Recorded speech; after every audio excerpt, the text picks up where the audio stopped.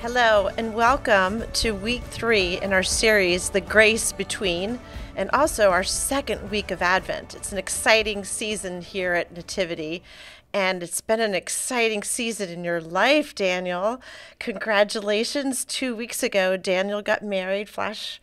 I little- did. Yes, did. congratulations. How was it?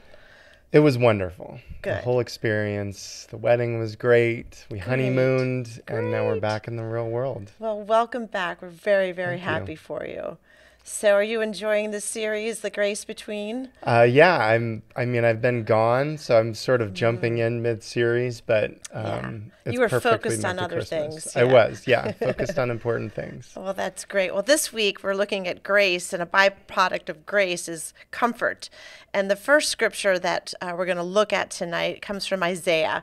And Dan, if you wouldn't mind uh, reading that, I love this. Comfort, give comfort to my people, says your God. Speak tenderly to Jerusalem and proclaim to her that her service has been completed, that his sin has been paid for, that she has received from the Lord's hand double for all her sins. Yes, I, th- I was the typo in there. I, I apologize. But comfort, here it's the first sentence says, Comfort, give comfort to my people. So it's a command. So God gives us comfort, and we can talk about the spiritual comfort, we can talk about physical comfort, but here it talks about give comfort to my people as a command. So when you think of giving comfort or comfort in general, what comes to mind for you? Yeah, I mean, we were saying there are the comfortable things in life, but it, this isn't really about being comfortable or helping someone to be comfortable. Mm-hmm. Offering comfort, I think, especially in a spiritual sense, is being available. I mean, I, that's sort of the, the biggest thing to me is being available as someone who can offer comfort to another person. So when they're in that moment of need, Mm-hmm. um, whether it's a listening ear or you know rubbing someone's back or Mm-hmm. or offering words of comfort, um, it can mean different things. But the availability, I think, is the first thing. And God is saying, be available to other people like I'm available to Yeah. you.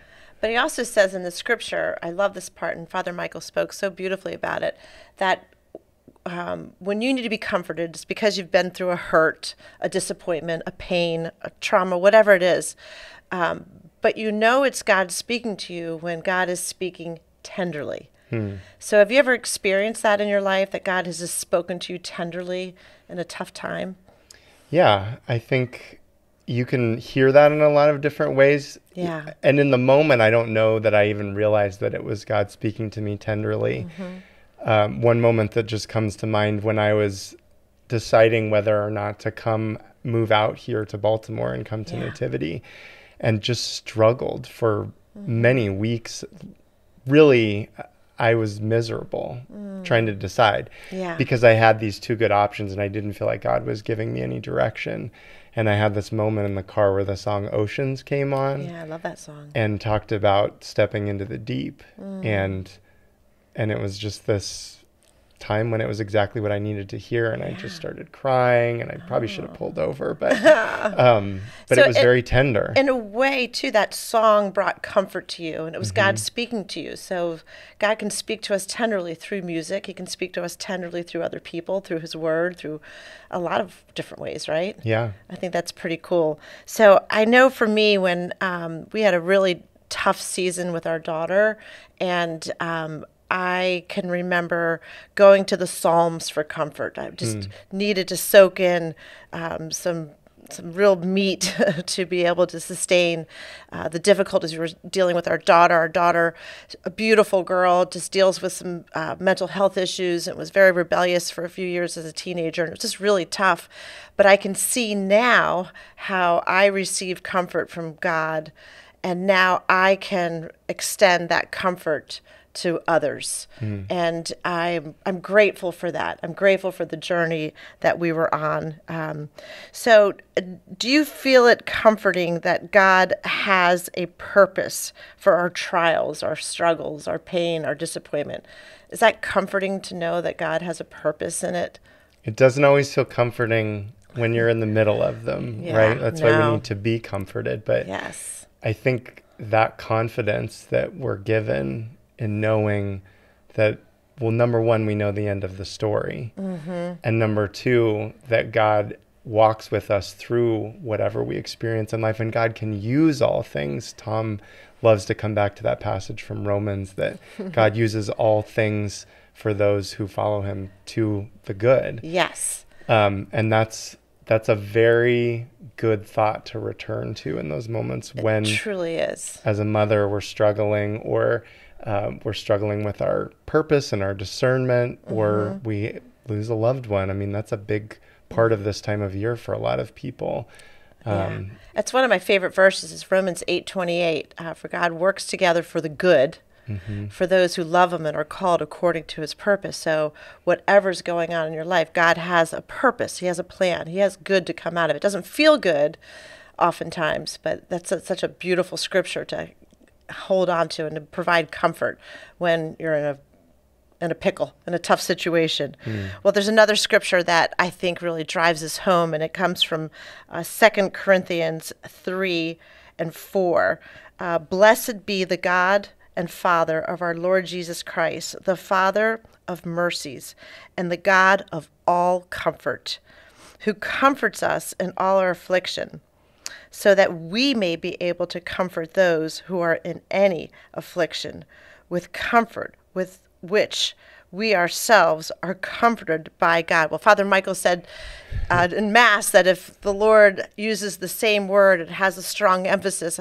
In the Isaiah passage, we saw comfort twice, and here we see comfort five times. So, comfort's a big deal, right? Mm-hmm. Um, have you had a season in life where you've been able to comfort somebody else based on the way God has comforted you?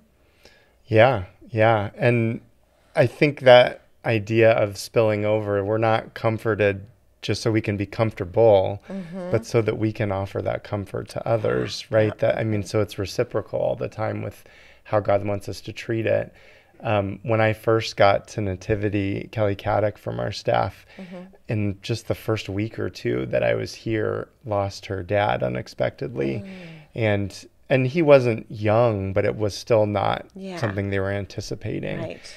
Um, and I really didn't know. I was still new. I wasn't sure as a friend, you know, as a colleague, how to really do that. Um, and so I, I just tried to do a couple of little things and to write her a note and, and reach out. But it, I mean, little things, I think you have those opportunities all the time in your life to mm-hmm. be comfort to somebody, mm-hmm. to offer mm-hmm. words, to just be present. Mm-hmm. Um, and it does look different all the time. But that was one little situation where I felt like, mm-hmm. I was called to do something and I didn't even know quite what. Yeah, yeah. And you know, by offering that kind of comfort, you're offering grace. You're offering uh, the gift of grace when you provide comfort when mm. somebody's hurting. And that's such a beautiful thing. Well, we uh, truly hope that our conversation starts your conversation. And we hope too that uh, this season of Advent will bring great grace in your life and it is expressed through comfort. And opportunities for you to comfort others is what we're seeking, right? Absolutely. Will you close us out, Daniel? Yeah. Thank you. Let's pray. God, thank you for this time of year when the days are dark and long, uh, or the nights are long, and we look forward to that special time when we're gathered with loved ones, or maybe we're missing loved ones, but we um, we still have the promise of your presence and that brings us great comfort in this time of year. And pray that comfort for those who most need it. And we pray that we can offer that comfort um, mm. as your vessels. We love you. Be with us in our week. We pray this in your name, of the Father, Amen. and of the Son, and of the Holy Spirit. Amen. Amen. Thank you, Daniel. Thanks for participating in small groups. Hit that subscribe button so you don't miss a single video. You can be part of our mission to love God, love others, and make disciples simply by sharing this video. We're so grateful you're part of our community.